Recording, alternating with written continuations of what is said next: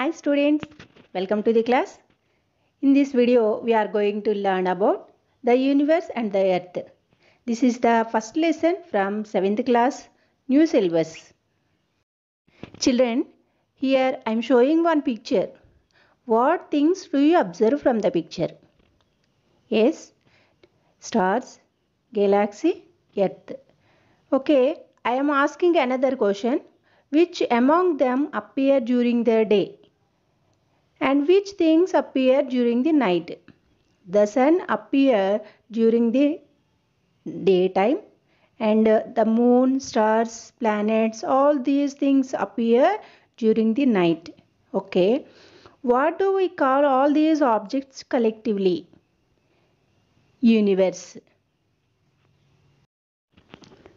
Children, in previous class, you have learned the concepts about the earth and the solar system. In this chapter, we are going to learn about the origin of the universe, the solar system and the earth and uh, earth's environment in details. Let's learn about the universe. The universe. The universe is a vast space that contains many unimaginable elements.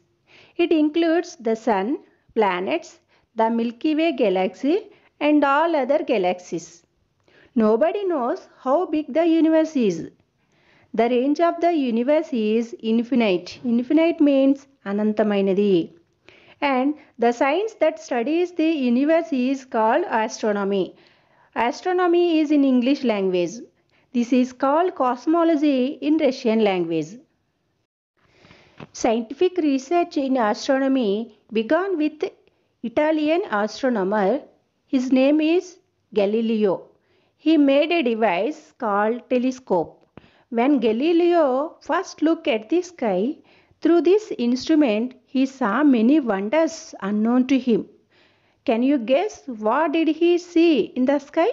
మీరు ఊహించగలరా Galileo ఏం చూశాడో let's learn about origin of the universe there are many theories about the origin of the universe. One among them is Big Bang theory. The Big Bang theory was first proposed by Belgian astronomer. His name was Georges Lemaitre.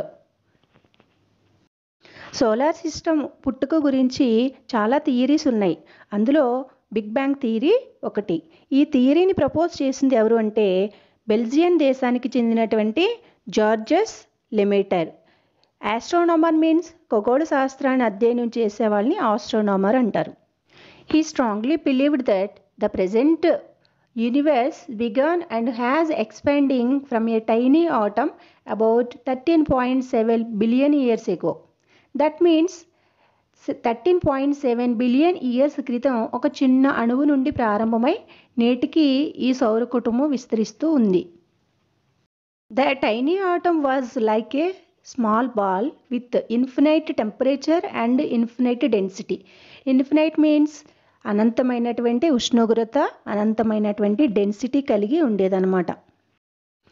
As a result stars galaxy planets satellites celestial objects are formed in the universe విశ్వం యొక్క విస్తరణ నేటికి జరుగుతూనే ఉంది. Let's land about solar system Our solar system is made up of the sun and the eight planets. Do you remember eight planet names? Repeat with me. They are Mercury, Venus, Earth, Mars, Jupiter, Saturn, Uranus and Neptune. The solar system also has satellites, comets, asteroids and meteoroids and Scientists estimated the solar system was formed about 4.6 billion years ago. Now, origin of the solar system. There are many various theories about origin of the solar system.